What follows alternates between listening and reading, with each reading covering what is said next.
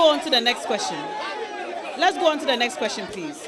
So, the, the next question you were asked about was about 1 million Ghana cedis per constituency.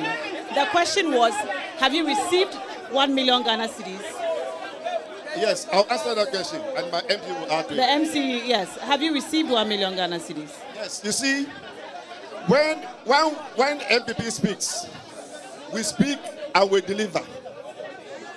One, it is not one million Ghana cedis. They said one million dollars to each constituency, but they did not say every year. They said oh, it was one million one million dollars to each constituency. It's in our manifesto, and and and we have, as at now, as we speak, as I speak, the party government has brought drip machines to every constituency. Those drip machines are worth more than 8 mi- billion cedis for each constituency. If you, if you So it's convert, part of it? Yes, if, yes. If you convert the, the, the, the cost of the drip machines and share it even per year, you can get the $1 million plus. So those drip machines that have come, those drip machines are going to be used to open up the, the, the constituency, the municipality.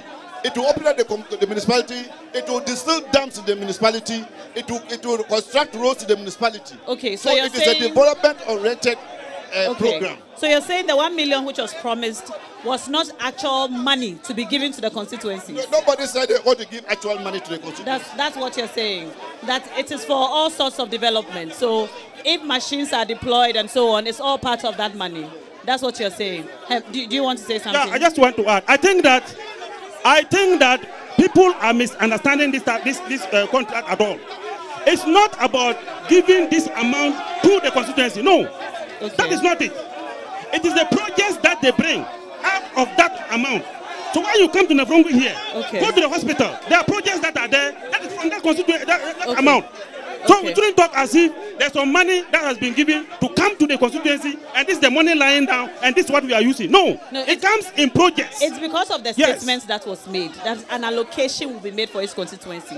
That is why there is the expectation that allocation will be in actual funds. Yeah. No, no, no. It, it is for. That, So, that's so the you wrong are perception. clarifying That's the wrong that- perception that, people have that, that about that money. Okay. Yes.